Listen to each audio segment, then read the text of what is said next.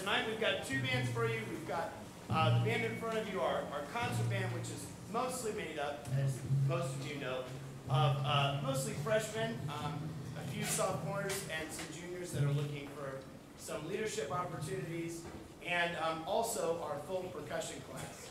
So um, in front of you is uh, some of our youngest and, and brightest in our program, and I can tell you uh, without any reservation, and they know how honest I can be, even brutally honest. Um, this is probably one of the finest concert bands we've had here, and so uh, the the amount of work that they've put in and the, and the growth that they've shown has been really truly wonderful, and they've been uh, uh, an absolute joy to work with. That first um, that first piece is uh, called Galop, and it's from the opera The Comedians, and um, I was looking for a, a really nice, uh, you know, cute little march to open up the concert, and. Uh, Anyway, as I was going through the library, I pulled that out and I was like, man, this is a, a pretty advanced piece, but um, there's a lot of there's a lot of fluctuation you can have with tempo, and so they went about mid-range of the tempo of what you can do on this, and I've, I've heard that uh, blazing fast, but I wanted it nice and clean and, and cute, and I I uh, I went I had to uh, uh, get a soloist for this, and uh, I basically just thought of Tanner. Tanner has, is actually a keyboard player and uh, he has been working very diligently on, on keyboards. He's in our, our second jazz band on the vibraphone, and I was like, here you go. And so I was like, you're doing the solo, and so he reluctantly accepted it. He's been working very hard on it. So let's hear it again for Tanner Rush.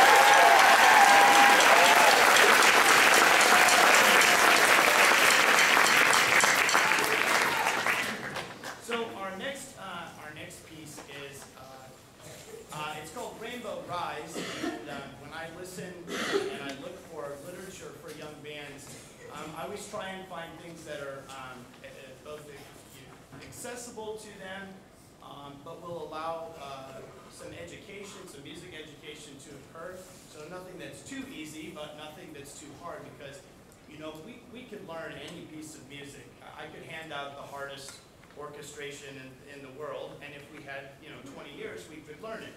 Um, but, you know, uh, we, we do everything on a timeline, and so we want to give the kids the best experience possible. So I always look for very quality um, young band lit, and um, this piece really uh, struck me as one of those pieces. Um, there is a lot going on, and there is a lot of music education, a lot of things that I can teach them within this piece. Um, but again, along with being very accessible, it's very, very listenable. So um, this piece, uh, Rainbow Rise, is supposed to be um, with the rainstorm is, you know, kind of fading out, and you can see the mist, and then eventually the, the rainbow will arise at the end of the piece.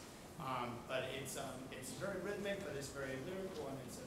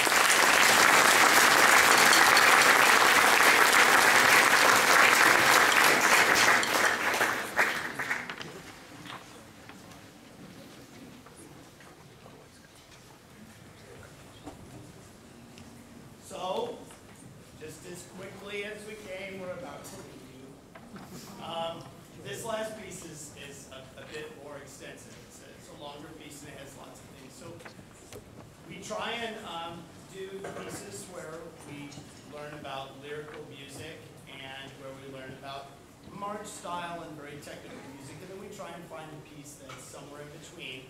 We call it programmatic music. So um, this music you're going to hear an array of styles, um, and you're going to hear uh, an array of techniques, and one little surprise in the middle of it that I'm sure you will catch. Um,